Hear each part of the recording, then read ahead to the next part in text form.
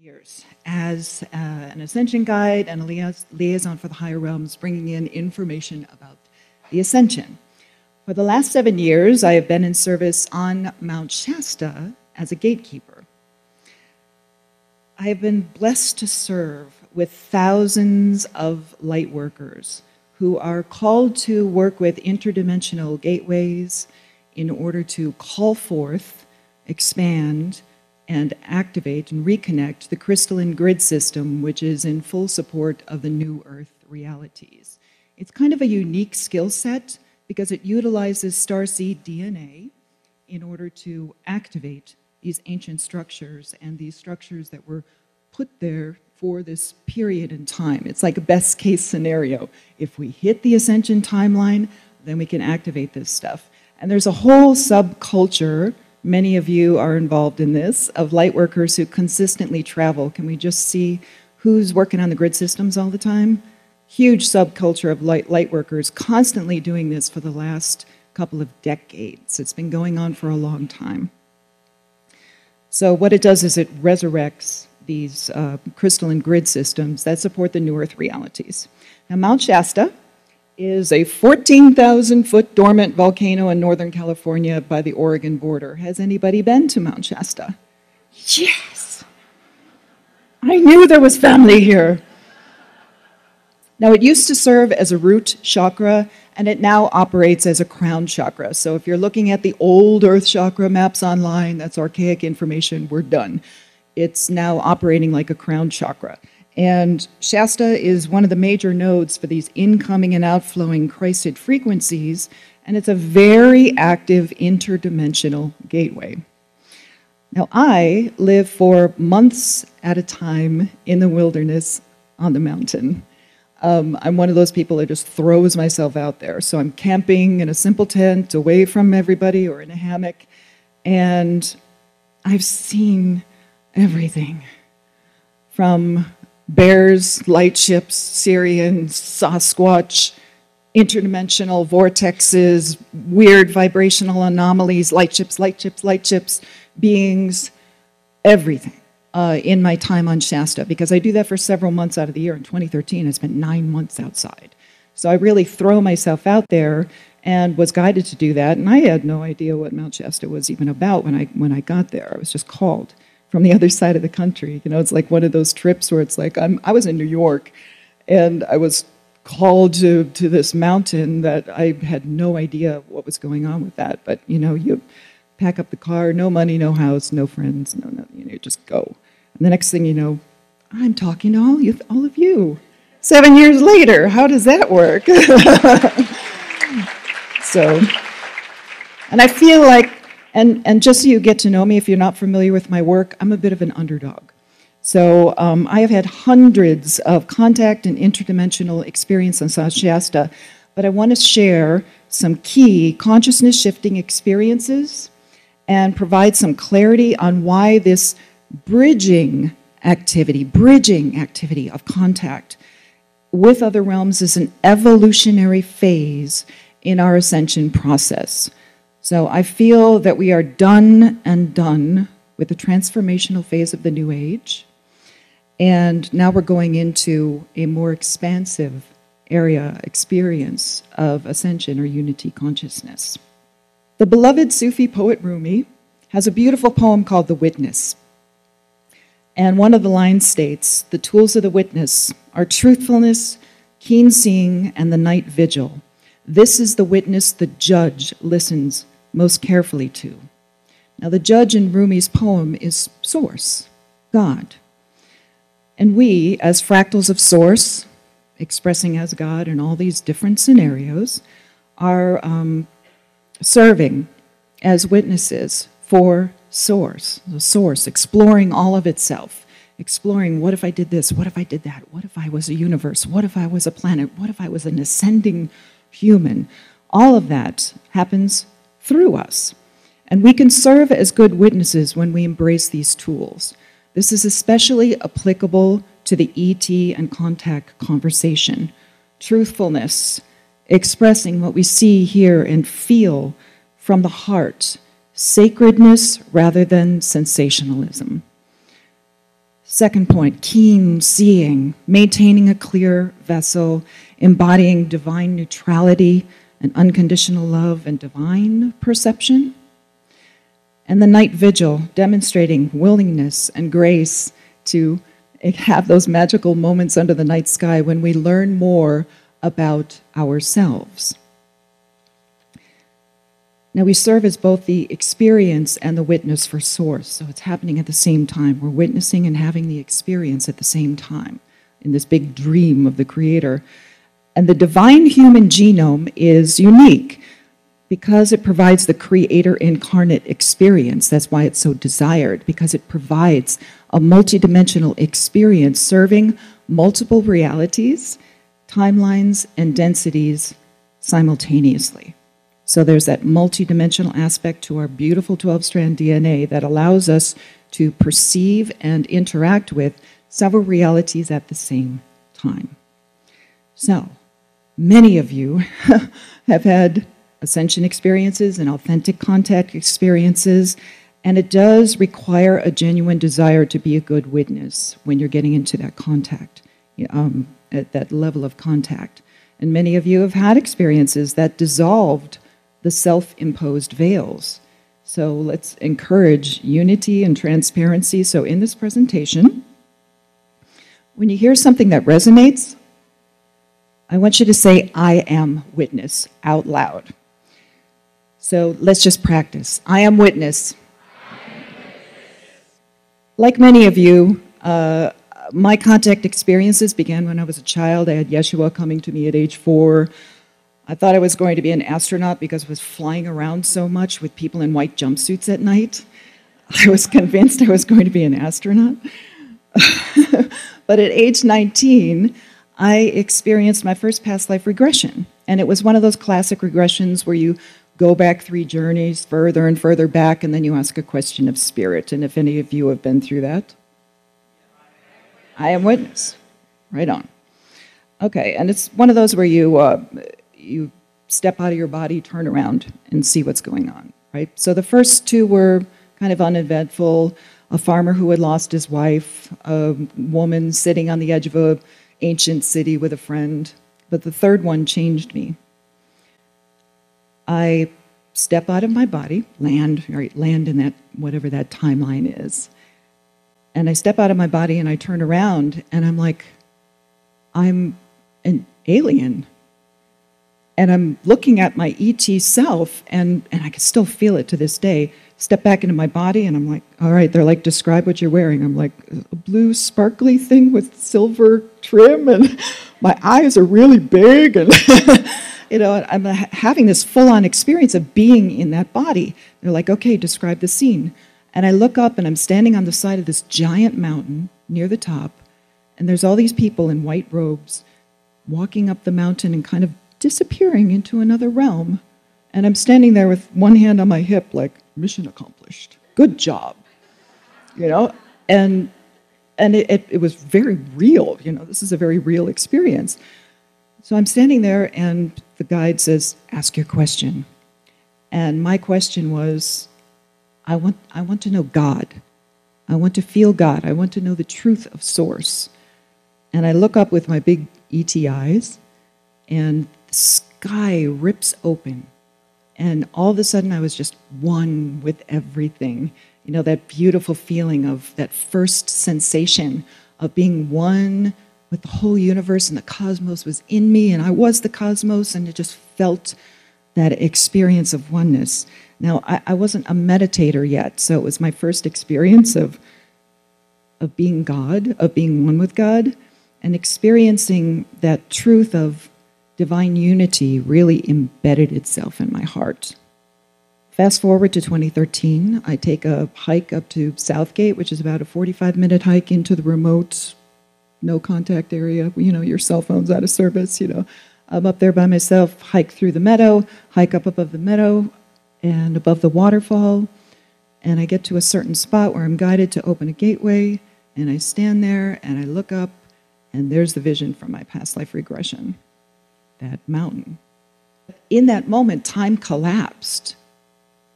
And I felt my ET self, that I had felt in the past life regression past self, ET, present self, guiding people up the mountain of ascension. You know, it was like past life guiding people up the mountain, present day working as an ascension guide. And I also felt my future self, my higher self, who is involved in this upper level, higher realm operation of ascension. And it was just like time collapsed, and I felt myself in all three places simultaneously. I am witness. Time collapsed, and all of a sudden I got it. So that this interdimensional synchronicity allows us to perceive the unified self. The ET encounters or higher self experiences are usually, not always, other versions of ourself. We have to apply multidimensional thinking to everything at this point. But parallel, simultaneous realities of the oversoul, the oversoul has like 500,000 other human expressions surrounding you in these realities. So you're constantly interacting with different soul groups and other oversoul groups. This photonic order allows perception of past, present, future merging in zero point, which is a very strong part of our ascension process, is the ability to get into zero point and be able to perceive multiple dimensions at once. Ascension into reunifying with source awareness or the oneness state. It allows us to experience the infinite self, which assists our task as masters. And our task as masters is to allow others to see the divinity in themselves. Let me share some examples of this unification process, which occurs with our ascension. We have multidimensional parallels in our service work, but I made, I made a choice early on that nothing else mattered but service. And wow, that's an, a great way to skate through life. If you get that in your heart, nothing else matters but service to the collective. Nothing else matters but service to God, to Source, to all that is. Nothing else matters but service. If you make that your baseline frequency, if you make that your platform, I am witness, your journey will be so much easier. So much easier because that's kind of the point of all of this happening. So in 2012, I had what's called a gatekeeper initiation. I had already been there for a few months, but, and I was, uh, you know, back, back then, I was, you know, penniless, living on the mountain, didn't, didn't know what was going to happen next, just totally in the now, just vibing with that natural state that you get when you're living in the wilderness, just like, whatever, okay, okay, just show me, show me, show me. All these beautiful things happening. And then uh, I have a connection to the Brotherhood. So the Brotherhood came in. They're like, you're going to teach a class. And I'm like, I have no money. I have no camera. I have like, what, what are we going to do? And all of a sudden, this thousand dollar donation comes in from Bulgaria. I was like, okay. So I start teaching Ascension Path, which is like a foundational class that I teach. And that started back in 2012. And I'm about a month into Ascension Path following, again, following the service, following the calling, following the direction.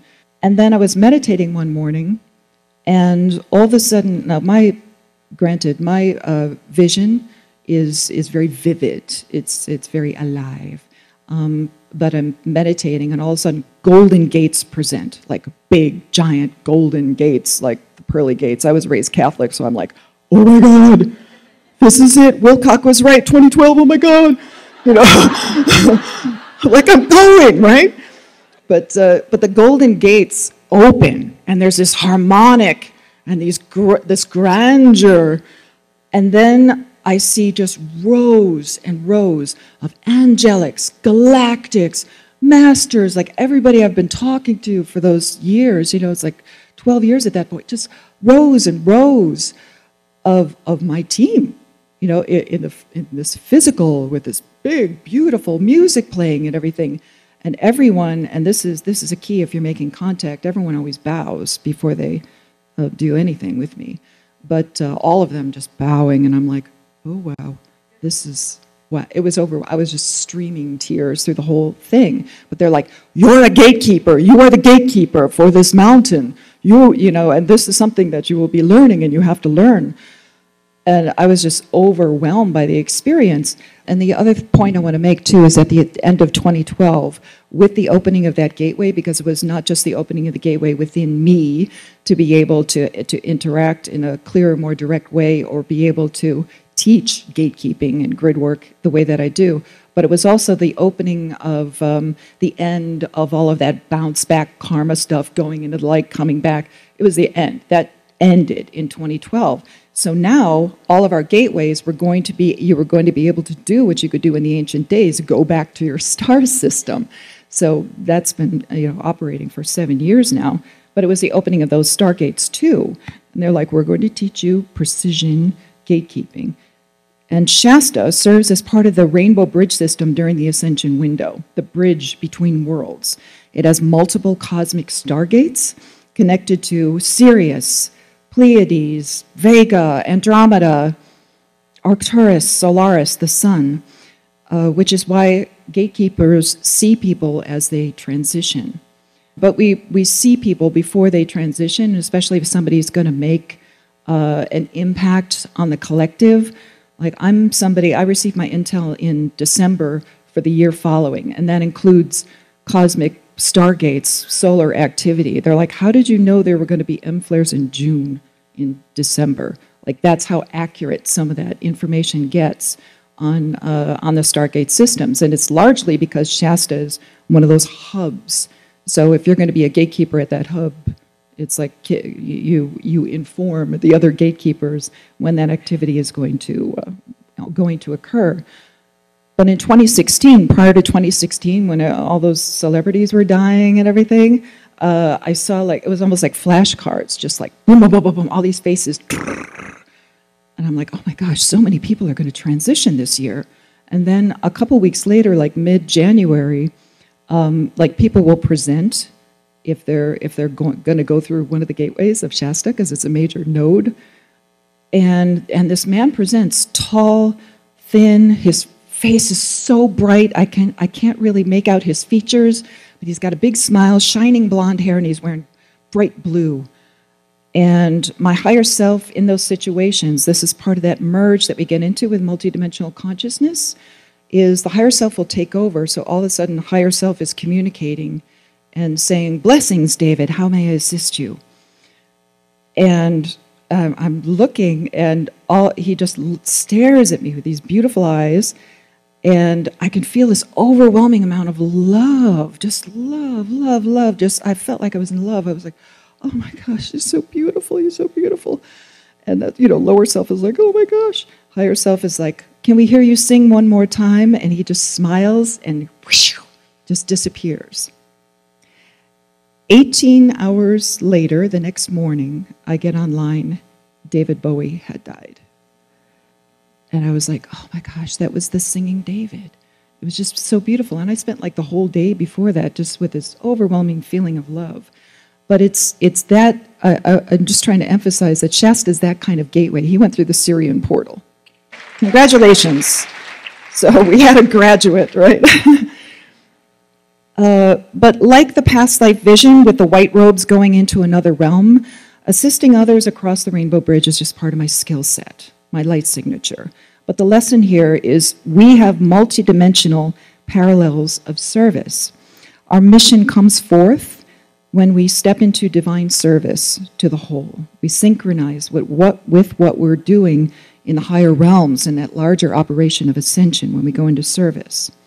And it makes us stronger conduits of the divine self. And I've learned that. Just surrender to it, allow the experience, and then you start having these experiences. It's not just Shasta. I'm just sharing some of the Shasta experiences that I've had as gatekeeper. In the dualistic perspective, we used to categorize right, wrong, good, bad, light, dark, Pleiadian, Sirian, planet, star, 3D, 5D, 9D, etc. That's kind of a coping mechanism for density, an evolutionary step. In places like Shasta, where the realms blend, we practice our multidimensional existence. The dimensions overlap and time dynamics get fluid, pliable. I was laying in my hammock near my campsite and saw Krishna talking to a seven year old version of myself. You see, masters come and go uh, in and out of timelines. You know, Germain's very strong there because it, it used to be the violet flame uh, pillar was kept there. Um, and now that's, that's diffused throughout the, the different gateways, so it's not just the thing. But it also means that I have to wear purple all the time, but they take away my violet flame license. so, but you get very coherent in the wilderness. Your awareness gets more acute, and you start synchronizing with the natural energies, and you begin to witness other realms of self. Like that interaction with Krishna yeah, it's me, but it's also like another timeline experience. The master's coming in with lessons, you know, they're already in that Bindi state. They're already in that unified state. You can see what's going on, and they've taught me, like, take a look at what's going on with the grid systems. Take a look at what's going on with the stargates. And the stargates are like outside of the galaxy. So when you pull back, and you kind of merge with that, you're like, I can see it. I can see where the sun is, and I can see it's going to hit that point in the octahedron, and that's when the solar flash is going to happen. And I could see where where that flow is, it, where it's not flowing from the Pleiades during this certain time, and why, and it's going to you know make up for it through the Sirian Gateway. And it's just like this this beautiful uh, blending of all these different dimensions because even the cosmic stargates, they're not a 3D thing, they're not a 5D thing. They're, they may not even be a 12D thing because it's kind of formless when you get out there. But, uh, but one of my first nights on the mountain, just to make my point, one of my first nights on the mountain, I, I, I, had kept seeing, of course, there's light ships everywhere. And can everyone tell the difference between a light ship and a satellite? Do we need to go over that? If it's traveling in a straight line and it, it looks like it it powers up or beams at you, it probably just caught the sun over the curve of the Earth. So if it's going in a straight line, and it goes whoosh, probably a satellite.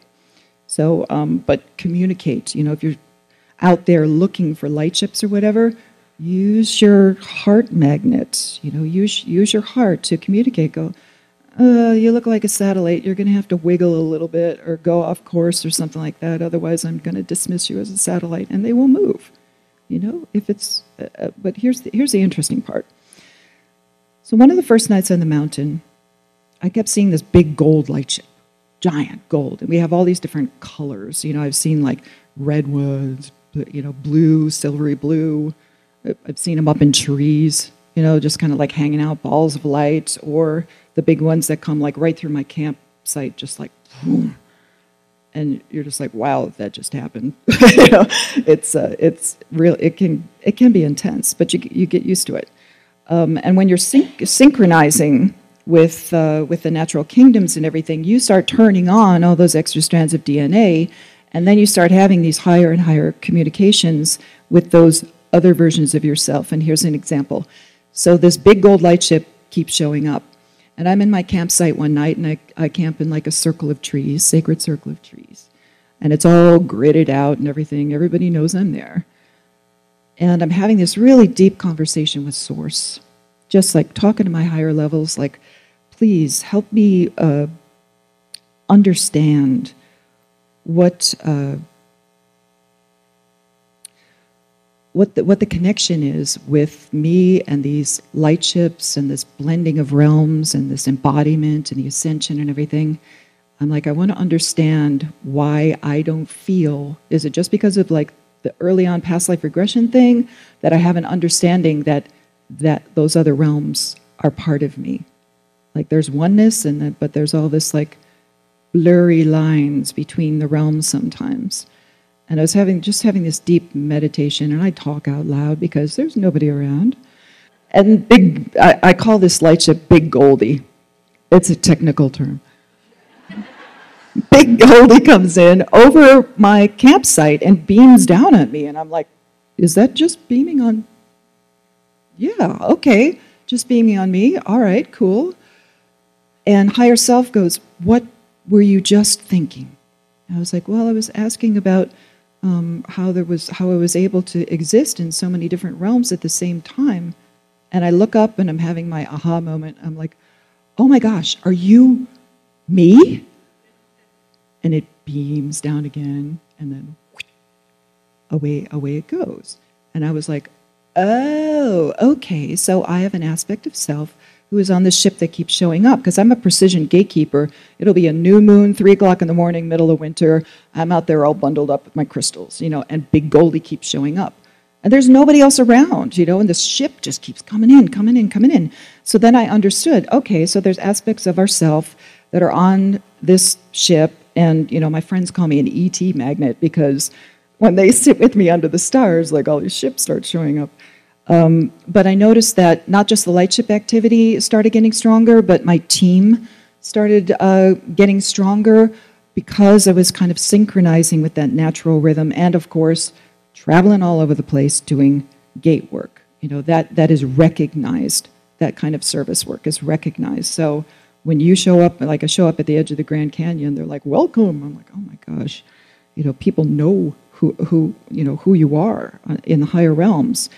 And the other interesting thing that starts happening with uh, with Shasta and these gateways is is like I I can't you know even to this day I'm still um, bewildered by the accuracy of how we can uh, you know I have to uh, take a hike in the snow which requires snowshoes in the snow back to this gateway above sand flats and for this certain activation, they're like, there's going to be seven M flares aimed at Saturn. And you got to like sit on the ground and be there. And of course, you know, I sit on the ground and I've got my crystals out and everything. And I'm like, and they're like, okay, do it. And I'm, you know, doing what I do to, oh, I won't do it now. but I, am doing what I do to, uh, to open the, the threads through the cosmic stargates. And they have exact same moment, just like M flare M flare, M flare, the exact same time I was on the mountain. And I was like, my God, this is all getting like so synchronized. And I don't, I don't identify with like, oh, it's me. I opened the stargate. You know, it's not like that. It's not like that for me at all. It's just like, okay, I, I understand the big cosmic operation that's going on here uh, with ascension, but it's all training us for unity consciousness. Um, there's when I was up at Ski you know, that, that medicine wheel that I showed you earlier, there was one night where um, there's this thing that happens in Shasta. It'll be a cloudless night, absolutely dark sky, nothing out but stars, and all of a sudden you start seeing silent flashing, almost like a, uh, like a lightning flash would be, but there's no sound, there's no clouds, there's no, all of a sudden flashing, flashing, and it gets closer and closer. The whole sky starts lighting up. And the first time I saw this, I was like, there's no clouds. What's going on? You know, is this like a storm coming in, some kind of weird anomaly? Because I'd seen a lot of anomalies at that point. But probably one of the weirdest things that, that happened, which is why I want to include it in here because it's kind of fun. Flashing, coming in, coming in over the bowl, coming in over the bowl. And I'm like, okay. And this is, this is the message that I always receive when something weird is about to happen. Stay a little longer. And this is about pushing up your own, uh, against the walls of your own fears, is, is this second point that I want to make. It's not just about the unification. It's like when you're out there, I'm a woman alone in the wilderness. Is it a mountain lion? Is it a bear? Is it a Sasquatch? Is it a Siriad? Is there weirdness going on? You know, I'm like, stay a little longer. Push up against the fears. I know it's getting uncomfortable. It's getting cold. It's getting weird. The sky is flashing. Stay a little longer stay a little longer. They're like, gatekeeper, stay a little longer. I am witness. And when you stay a little longer, I was entitled, thrilled to watch, to witness. Um, a, it's like a laser light show. So there were like 20 different laser beams that came down and gridded the whole bowl, just like, like this went on for like a minute. Shooting, shooting, shooting, crisscrossing, just like, like gridding the whole area, and then one big wide beam like, like this shooting out of whatever it was that was up there. Probably just a massive ship cloaked because I, I couldn't see it. It was like, just looked like sky. And beams, this whole big beam across Green Butte, which is an entryway to Inner Earth. It was just like, and then flashing, flashing, flash, disappears. And this happens over and over again. So, grounded person doing grid work, right? Gridding, gating, clearing, opening, higher levels, gridding, clearing, opening. It's the same thing. It's a, it's a dimensional experience, a dimensional reflection. And I'll even be like, I was in ecstatic dance, dancing. All of a sudden, I can't dance anymore. I sit down to meditate. Shasta. Just the mountain will flash at me, just like a big picture of Shasta. Shasta, you know, and my, my visions are like when beings come in, they're pretty strong. It's like getting hit in the face, you know. it's like, boom, Shasta. I'm like, what? It's like 8.30. Boom, Shasta. Okay. Okay. And like the, for me, the, the pull, like when the mountain wants you up there, the pull is like, you can't deny it. So I'm like, okay, here we go. You know, pack up all my stuff, go up there. What's happening? Flashing flashing, flashing. And the, there were folks down in town that said, hey, did you see that flashing last night? You know, so people see it. You know, it's not just me. Flashing, flashing, flashing, and all of a sudden, Big Goldie just materializes out of nowhere. Like, um, but it's this is these kind of experiences, and and even your contact experiences can train you how to face your own fears of the other, because it is you know unity consciousness includes all this stuff that's going on. So it does train us to break through those self-imposed barriers. No talk about Shasta would be, incom- would be complete without telos, what is below. Telos is a Greek word meaning the goal or end game, an intention for an end result. Just let that land. Telos is an intention for an end result. From a multidimensional perspective, I was provided with uh, an experience. I was laying in my hammock up uh, near Sand Flat. Beautiful, beautiful day. I think it was a full moon. Just gorgeous. You know, you get a big view of Shasta and everything. And I'm laying there, and it's 2014, and it's been two years of camping outside. And I'm like, how, how much longer do I have to be here? Like, how much longer do, do I just camp forever? is this a thing? I just like wander and then find a place in the winter. Is this just what gatekeeping is about? And I was just asking an honest question of my team. And and everyone on the other side of the veil starts laughing. Which is always comforting.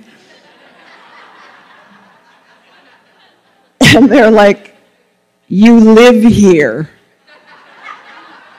And I'm like, oh yeah, I live here, like uh, homeless all summer long, and then I go in the winter. It's the hard, most challenging, probably the most challenging little spiritual community I've ever experienced. Just like, oh, you got to be kidding me! I live here. It's like the weirdest place I've ever lived before.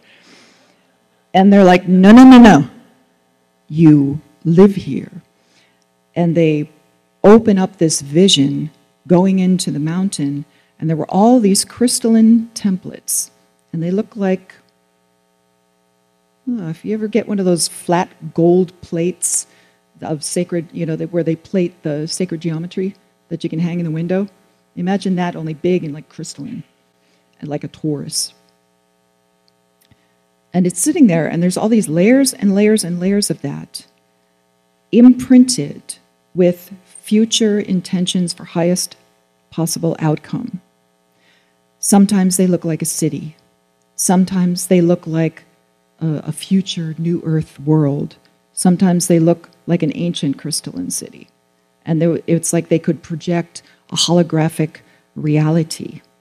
So it's all these future intentions that apparently I was part of planting those things in the mountain.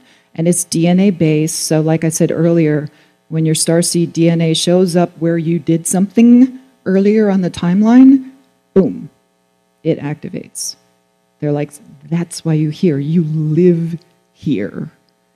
And I and the the inner earth folks um, whom I have seen, it's a very real experience for me. But they're like, please don't misinterpret inner earth civilizations as something that's like fixed and carved out of a mountain or looking for a door it's it's not like that. It's a dimensional experience. It changes constantly. The inner earth folks have, have shown up. Remember that place where I had my my revelation up on Southgate? that's the first place that they presented. So that's the place where I had the past life regression. That's a place where I had my aha moment.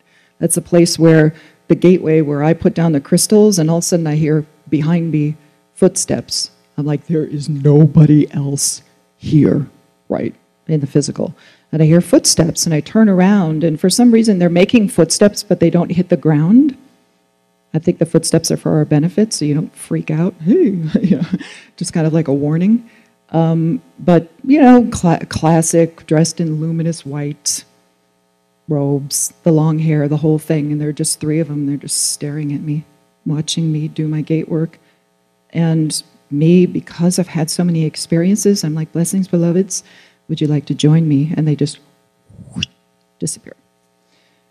So they've and they've done that a couple of times, where it's just like easing their way into my reality but of course, there's an, an, extreme amount of dreamtime activity, even flying ships into the mountain, you know, all that kind of experience um, has presented. I actually got a training exercise once. They're like, try not to flinch when we go into the rock, you know?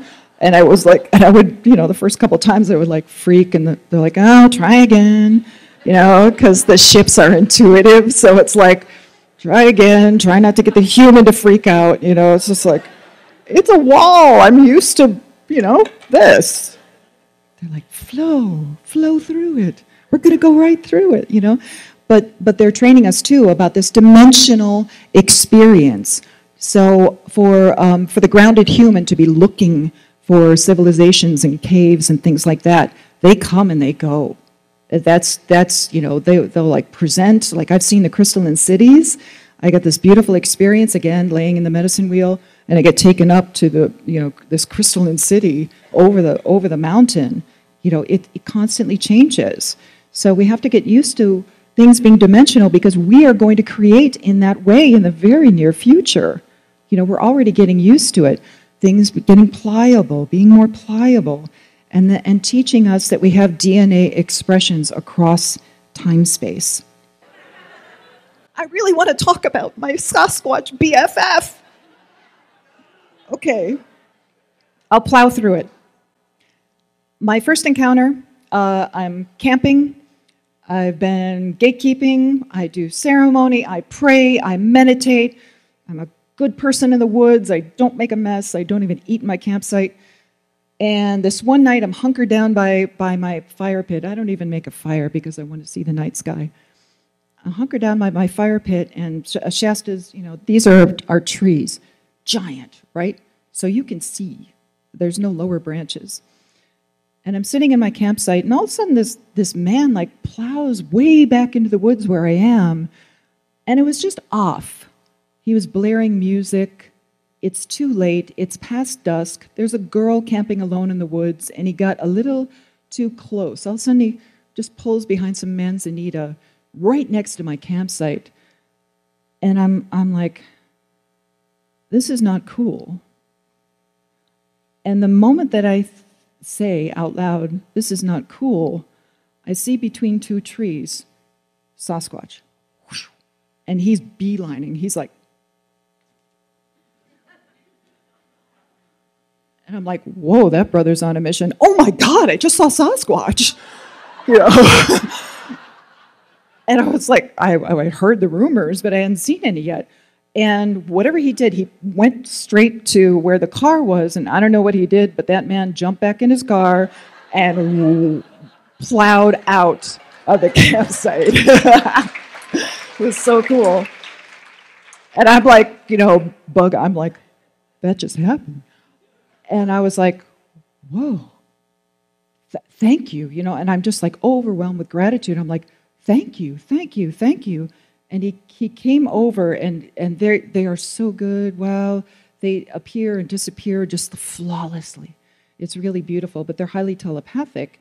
And uh, but his language he, he, doesn't speak the way that i speak. He speaks kind of uh, it's almost like fragmented. Um, uh, so he comes over and he, he bows to me anything for gatekeeper and i'm like oh, I still get goosebumps when I think about that moment because I'm like, oh my God, he's been watching me. He knows exactly what I'm doing here. He's seen me doing this service. I am no longer the lone girl in the woods, like because you know masters come and go and guidance realms come and go and everything, but pretty much you're you're camping alone physically, right in the war in in the woods. But now all of a sudden I have this this like guardian. So so we have a relationship now. So when uh, because I invited him, I was like, you know, the next morning I'm like, are you are you around? You know, kind of thing. And I was like, this kind of this is kind of sweet, you know, and everything. So he he puts off a scent. It's it's not very pleasant. It does smell like somebody who lives in fur. Um, but you're kind of like, did I step in? Some? Yeah, yeah, it's pretty strong. But uh, he'll put off a scent just to let me know that he's around. Um, but we created a relationship. So I learned how to uh, uh, uh, knock rocks together in order to call him, and he'll answer back. At one point, I was laying in my hammock, and 10 of them came in one night. and they make a very, um, they make, this is what they sound like. I can't, I don't know if I can do It's unmistakable when you hear that in the middle of the woods and, and there's silence everywhere else. Uh, so he'll call, and I've learned how to call him too. So I'll let out that sound, and then it's like, I'll hear in the background, and uh, just to let me know that he's around or whatever. And then sometimes I'll apologize if people are being um, Uh, abusive to the woods or whatever. You know, I'm constantly picking up the woods, and I'm like, oh, so sorry, Sasquatch, and everything. And I'll talk to him when I'm laying in my camp, and somehow that thin layer of nylon makes me feel impenetrable, right? So I'm laying there and I'm talking to my Sasquatch, and he will literally come up next to my, my head outside of the tent and stomp three times. You know, that's our symbol, our signal. Stomp three times right next to my head. I hear you, you know, kind of thing, right on. And uh, it, so there's been all this interaction. But this one time, um, he, you know, he very rarely will appear for a very long time. So there's still, there's still that, that barrier. But, uh, but this one time, I was, um, I was driving back in, uh, toward my campsite, and all of a sudden I see something running through the woods, and I'm like, oh, there, there's already there's somebody back by my campsite, and it was just like instantly, you know, I'm like, too fast for a human, too fast for a deer. Oh, it's a Sasquatch, you know, and I'm like, there he is, and he uses the trees, so he'll appear vibrationally. He's kind of glowing, you know, he looks kind of like a hologram almost, and he'll go from tree to tree, boom, boom, boom boom. And he's actually teaching me how to use the neural network of trees, how they travel, which is really cool. So I've been able to like tap into that that network. But but I was like, why is he appearing? Because I, I yelled up on the way up. I was like, I'll be back. I'm going up top to do gate work and I'll be back and everything, you know, and I just kind of like send that message out while I was coming back down. And for some reason he knows that I'm coming back. And he does this big loop, big, huge loop around my campsite. And I come back to my campsite and somebody had abandoned a cooler somewhere in the woods, and it's plopped right in the middle of my campsite. And the three um, orgonite generators that Rion had given me, I had planted in the ground around my tent, and he had taken them out and put them in a little, tri- a little triangle on top of the cooler. I was like, oh, uh, is this a game? Like we can't, we can't keep the, uh, and I guess he doesn't like the resin um, you know, that's like unnatural or something like that. Sorry, Ryan. But um, I was like, well, if it's a game, then I'm going to put one back in the ground and see, and see what happens. I haven't seen that yet. He'll probably freak me out and like leave it on my doorstep or something. But here's, here's my point be a good witness. You know, be the, an accurate, clear witness when it comes to your contact experiences and life in general. Be the kind of witness that people can trust. You know, contact is part of the merge, ascending dimensions, and, and we become that for Source as well as each other. Remember that mastery is the ability to allow others to witness their own divinity. And I invite you this weekend, tomorrow, marks the three year anniversary of weekly global meditations. There are thousands of light workers doing this every single week for three years. Join us on Sundays. The field is very strong. We have four different time zones to uh, tackle everybody from Australia over to here. And uh, please join us. Thank you so much. I am Sandra, and I'm Witness.